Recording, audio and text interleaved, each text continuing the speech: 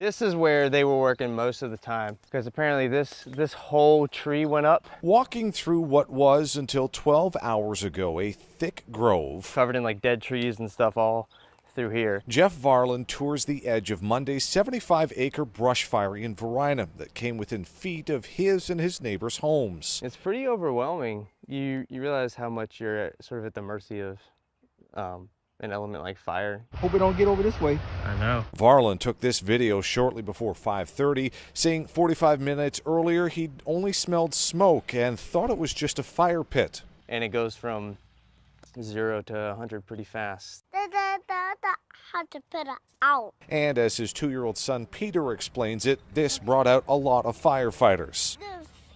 There were three. I think there are a few more than three. It's it's scary when it when it's running that hard. Henrico Fire Battalion Chief Doug Reynolds says the cause was someone having an outdoor fire. And it just goes to show how dry these conditions. All it took was a, a small ember to get away to start a bigger fire. In terms of what firefighters faced, Reynolds says brush fires are more unpredictable than house fires, especially with the windy conditions. So it takes a lot of firefighters, a lot of equipment.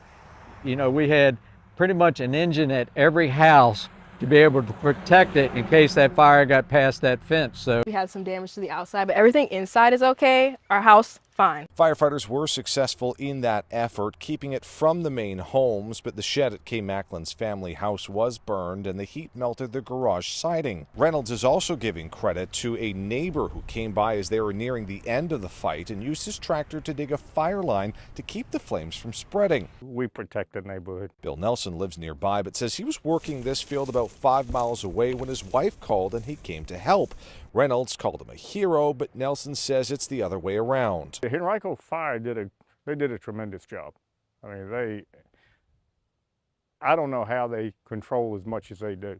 I'm just a neighbor that took care of the took care of my neighbors. State officials say Henrico is just one example of what's been a very active fire season, with nearly 500 wildfires and over 20,000 acres burned. stressing the importance of fire prevention and, and home things that homeowners can do.